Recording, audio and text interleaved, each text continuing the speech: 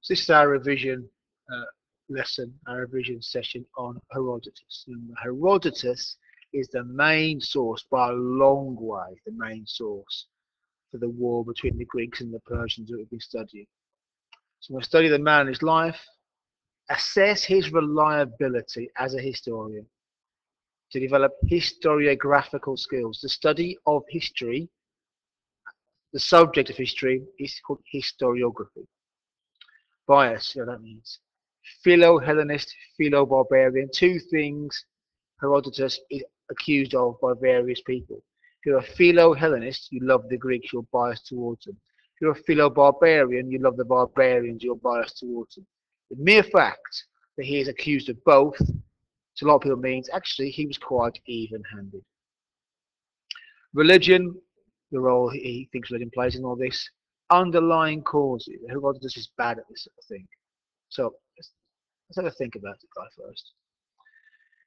He's born in 484 BC.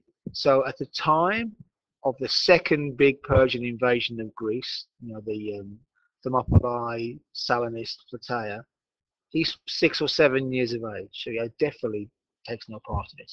He's from Halicarnassus, which is a city in, in uh, part of, well, it's Greek speaking in western Turkey. It's Caria, not Ionia, but near, near Ionia. So he's not Greek Greek he writes the, the book's called The Histories, it means inquiry. He's the first person to use the word. He writes them over a series of years between 450 and 420 BC. So he writes them 30 years after the event.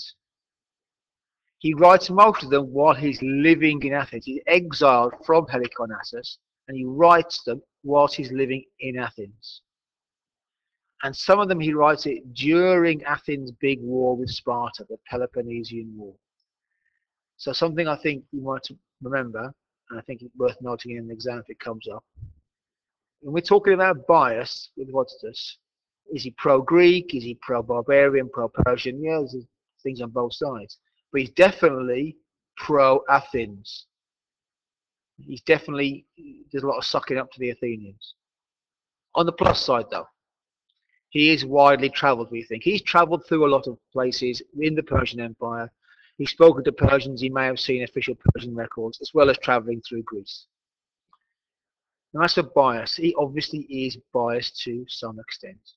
The guy is a Greek speaker. He lives in Athens. He's definitely pro-Greek.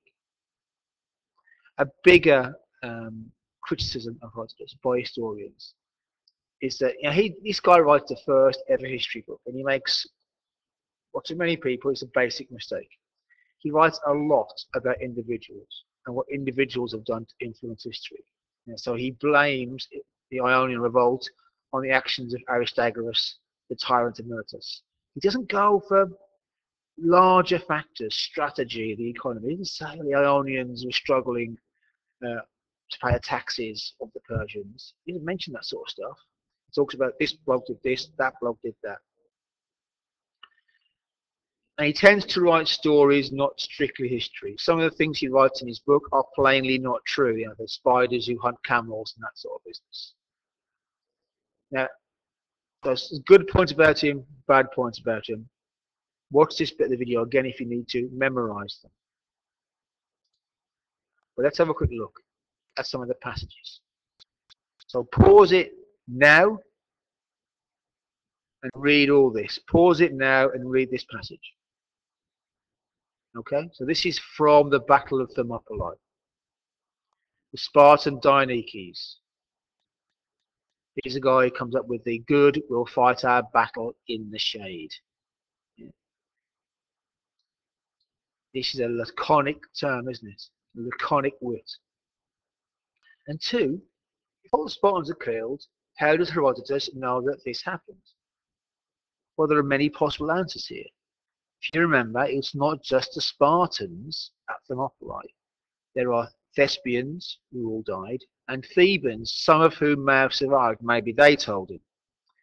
Um, this occurs before the battle. A man from Trachis, it says. Maybe this guy tells everybody about it afterwards. You've got to think these things through. Another very famous passage regarding Xerxes' uh, journey with this huge army and navy to Greece. Going through Lydia, a guy called Pythias is very rich and powerful, helps him. Read the rest of this. Stop. Pause it now. Read it. Tell me what you think. So if you see here, Pythias asks him, Don't take all my sons. Xerxes is furious at that and has his eldest son cut in half and his body placed on either side of the road. No judge, no jury, no trial. Kill him. Yeah, so that's what happens. What does Herodotus want us to think about Xerxes? He's a tyrant. The people in his army are his slaves. Know, they're not free citizens. They can't do what they want.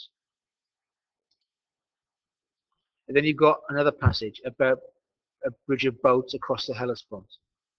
And the, the Persians built two of them. And the first one got destroyed by a storm. The engineers are executed, and Xerxes has the water whipped. He has the water, the water has a pair of fetters, handcuffs, if you like, going to it, and branded.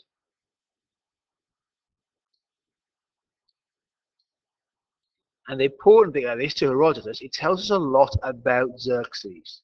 He believes he's a servant of Ahura Mazda, the god. That uh, for, the, for, the, for the storm to destroy his bridges is a sin. And this is what Herodotus refers to as hubris, overwhelming arrogance. And the punishment for hubris is nemesis, certain destruction. Again, look all this up. Think about it.